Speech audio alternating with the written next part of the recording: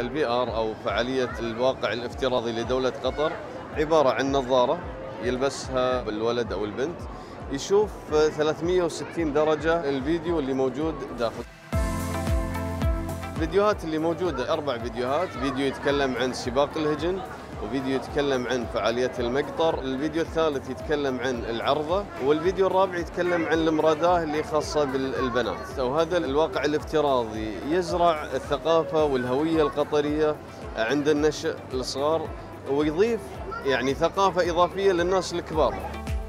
للأمانة شيء ممتاز جدا روعة روعة كأنك عايش في الحدث نفسه. أيضا التحليق كأنك راكب طيارة. وقاعد تشوف من فوقها يعني كل شيء.